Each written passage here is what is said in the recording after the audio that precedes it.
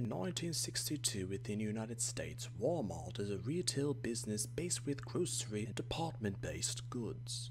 Known for offering deals for consumers as well as customers, the corporation is known for having a mixed reception outside the United States with countries locking worker rights in Central and South America having positive reflections of the company. On countries with strong, well represented worker rights in Central European nations such as Germany and Northeast Asian nations such as Japan and Korea being negative towards the corporation due to its awareness nationally within the United States from the early 1990s to the early 2000s, Walmart used their mascot of Smiley, which was an ambiguous smile face to promote deals to potential customers. Due to the emotionless aspect of a simple smile face, during commercials and promoted media, the character would either become more complex or vague visually, depending on the sale available or mentioned to customers as mentioned, such as costumes that Smiley would wear depending on what's to be sold or bought.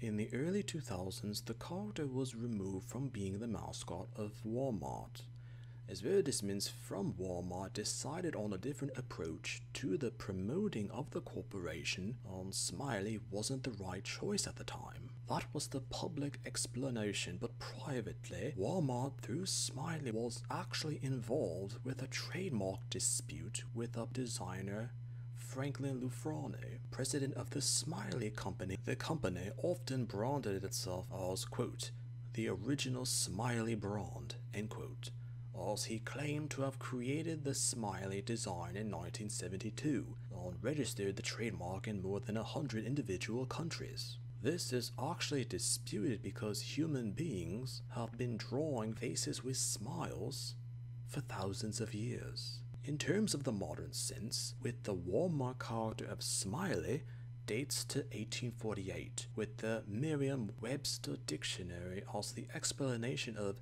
quote unquote smiley as an adjective for quote having a smile end quote or quote smiling end quote.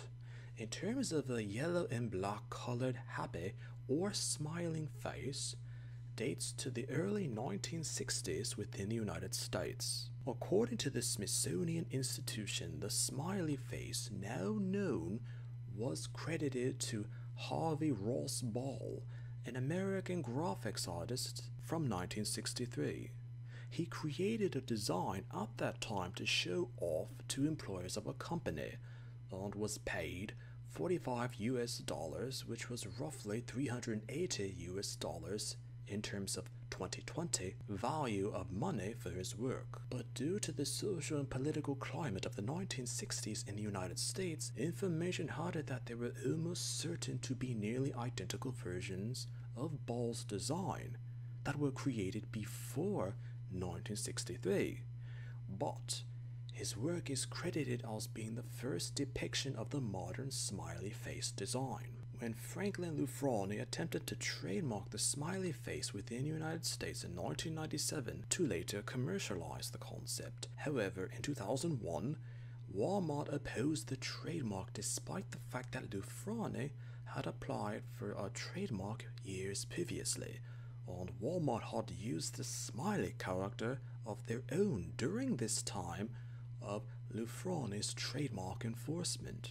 For a number of years until 2011, Franklin Loufrani and Walmart engaged within legal disputes over the trademark, with neither side really making any clarification as to what the smiley face was, and who, in terms of a person or legal entity, could actually copyright, successfully trademark even, such a concept. The details of the lawsuit were never made public, but information hardened that even with Loufrani's trademark and Walmart's depiction of Smiley, it's theoretically impossible to fully enforce such a copyright of such an ambiguous, random, or infinitely interpretive design of such a character. Even if Walmart were to use the mascot once more, a further trademark claim would be impossible to hold in terms of an adequate court dispute. Sometimes a quota could be forgotten because the reason was of trademark copyright infringement.